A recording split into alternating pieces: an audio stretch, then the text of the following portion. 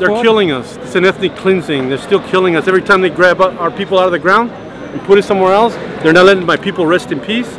And they're also killing us again. It's like shooting them and putting them in the ground, taking them out again, putting them in the ground again. So it's, it's murder. Well, in Dakota, I'm not. I haven't been up there since um, since December or November, and um, so I'm kind of. We've been fighting our own battles down in South Texas, in the Big Bend area. We had the Trans-Pecos pipeline, Comanche the Comanche Trail pipeline, and we also set up a camp to fight the fracking uh, in, um, in one of our more sacred places that is called uh, Balmorhea, Texas, where there the Balmorhea State Park's at, and the San Solomon Springs, the Giffin Springs that are there. it's one of the largest springs in the world, and uh, you're welcome to come and see the springs, and you can bathe in it. It's one of our bathing sites that we had in Balmorhea, and uh, we set up a camp right outside of there in a little town called Toyahvale, which means watering hole in our language.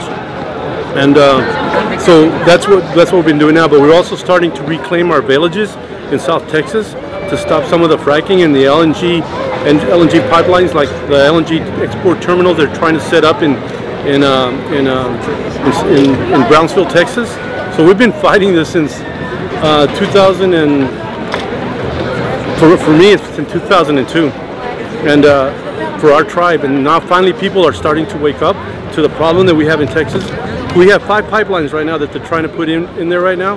So the Rio Grande, the Rio Grande, I mean, I'm sorry, there's three LNGs that are put in, the Rio Grande LNG, the Texas LNG, and the uh, Nova LNG. And so we're trying to make sure that they're, they're not put up in, sacred sites. It's next to, it's right on top of a wildlife, wildlife refuge and right on top of one of our sacred sites.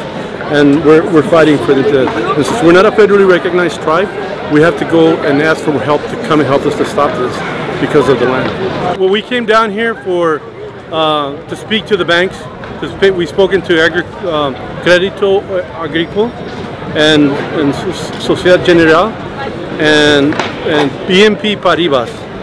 And we've spoken to them and uh, we've asked them to drop or to, to uh, terminate any of their, any, any of their uh, presence with any of the Texas export terminals, LNGs in, in Brownsville, Texas.